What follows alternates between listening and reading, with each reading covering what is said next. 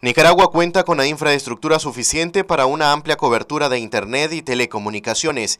Sin embargo, uno de los graves problemas que tiene la sociedad es que está subutilizando las nuevas tecnologías. Eh, desde la pandemia del año pasado, eh, nuestros operadores ya estaban preparados para este auge, para este boom de la necesidad de tener Internet en nuestras casas, en el hogar, en los comercios, etcétera.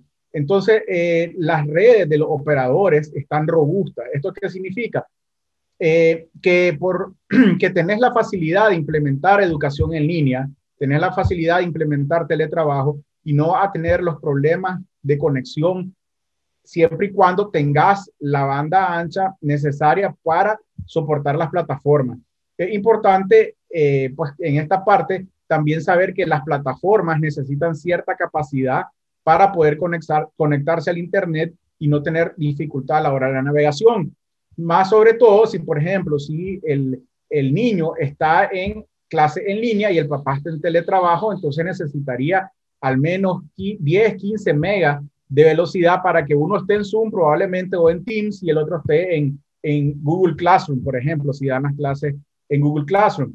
Además de eso, después está la otra parte que pueden estar utilizando el YouTube o pueden estar utilizando algún juego. La capacidad de los operadores ahí está robusta para atender toda la demanda de los usuarios en Nicaragua. Borge apunta que la ciudadanía en Nicaragua está siendo pasiva en cuanto al consumo de contenido digital y pocos se lanzan al aprovechamiento de las plataformas. El incremento ha sido significativo, ¿verdad? Pero te voy a hacer un, eh, agregar algo. Eh, nosotros somos un país que consume contenido, pero nosotros no producimos contenido en base a lo que producimos. Entonces ahí nosotros tenemos que hacer un hincapié y ver cómo nosotros llegamos a ser productores de contenido.